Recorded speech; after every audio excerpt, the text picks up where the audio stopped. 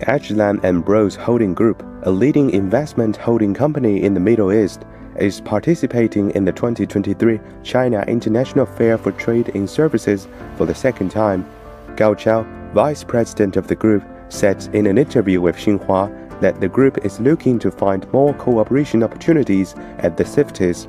Uh, for us, this is uh, the second time participating in CIFTIS, and we are very happy to be a part of it. And we see it uh, has grown into a international platform for uh, trade and service provider to engage with Chinese market and uh, also uh, to engage with other international counterparts.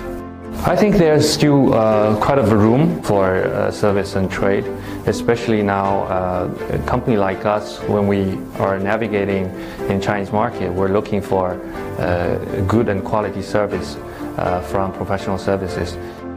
And Bros Holding Group is one of the largest private enterprises of Saudi Arabia in China. Gao said that the group is focusing more on the sector of green energy at this year's event this year we, we're more uh, focused. We're trying to uh, be uh, more concentrated in a few sectors that we're interested in. For example, uh, it, it, matches with the initiative of the forum, which is green and uh, low carbon and renewable energy.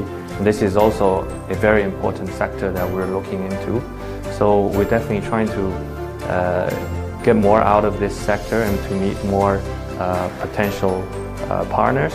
Focusing on opening up cooperation, innovation, and wisdom, the 2023 China International Fair for Trade in Services is held in Beijing from September 2nd to 6th.